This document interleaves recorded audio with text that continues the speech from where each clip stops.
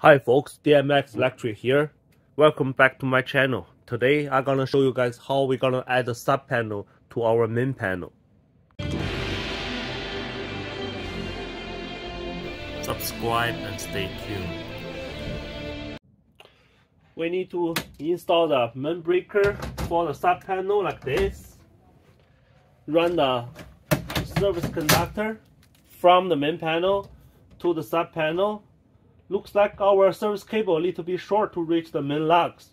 But the good thing is that as long as the breaker's head is lower than 1.7 meter, we can install our sub panel upside down or horizontally. So we just flip the panel. Now let's make some holes on the main panel sub panel, install the 3 quarter inch connectors and install the service cable. The service cable actually is number 6, good for the 60 amp service.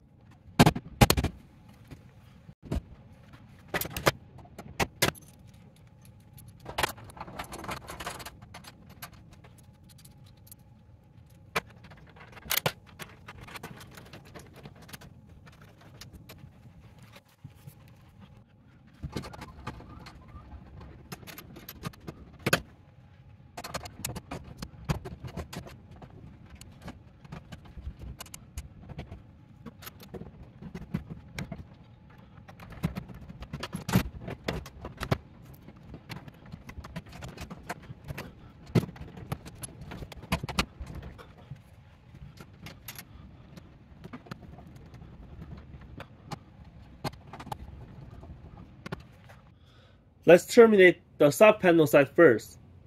We terminate the bonding wire to the bonding bar, neutral conductor to the neutral bar, and the two red and black two conductors to the hot lugs.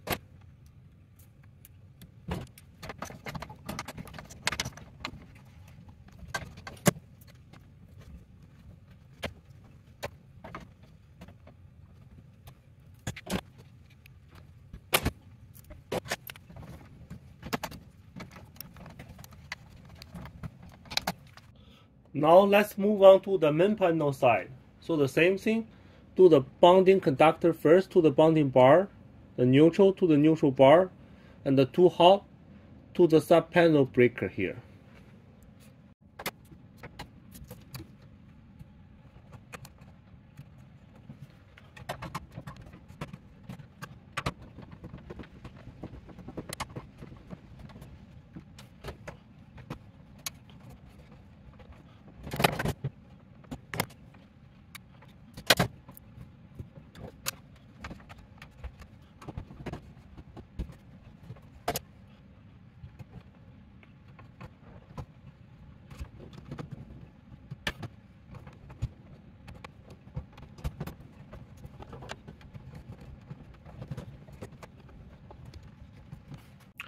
Now let's take a closer look at the sub panel and the main panel.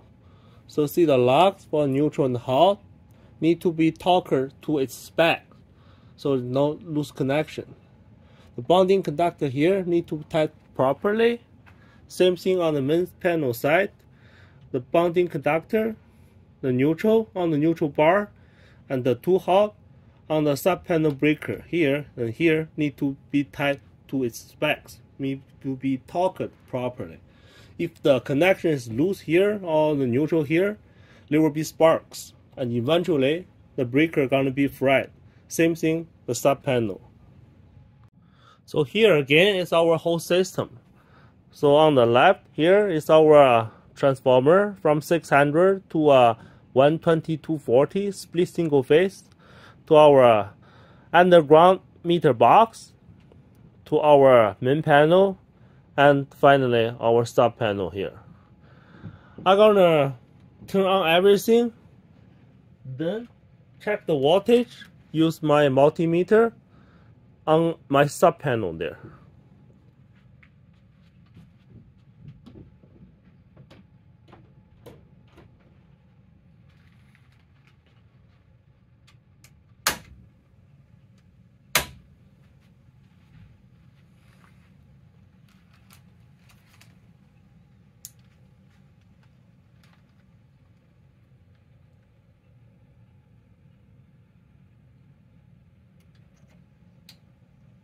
I got 235.5 between the two half. Black to neutral.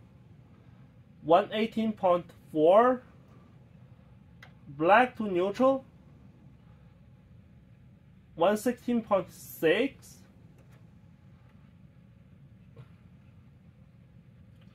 and uh, hot to ground sorry black to ground 117 and red to ground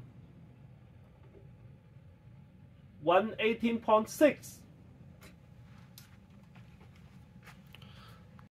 now let's add some uh, real world load to this uh, sub panel like this uh, one pole 20 amp breaker for the kitchen receptacle and this two pole 15 amp breaker for the old fashioned split receptacle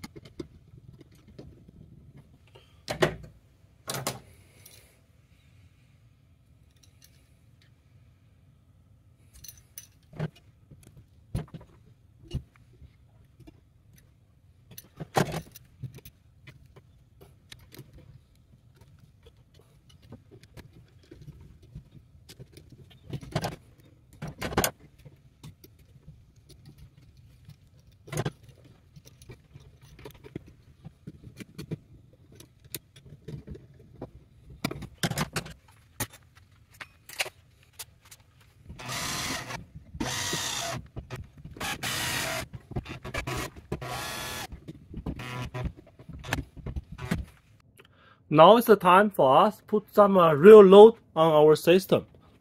You can see we have a 20 amp kitchen receptacle on the left and uh, the 15 split receptacle on the right. The system we are using is 40 VA. But you know from the transformer to our meter box, the main panel, sub panel, there will be loss all the way down here.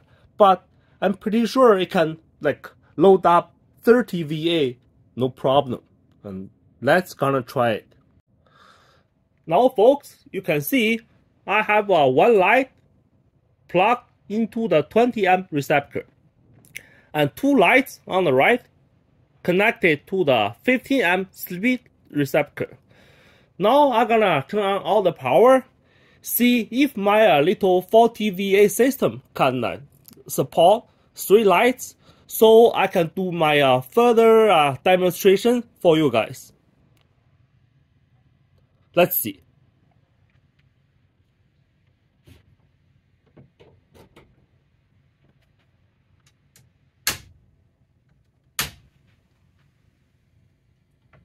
Looks good here. And looks good here. Perfect.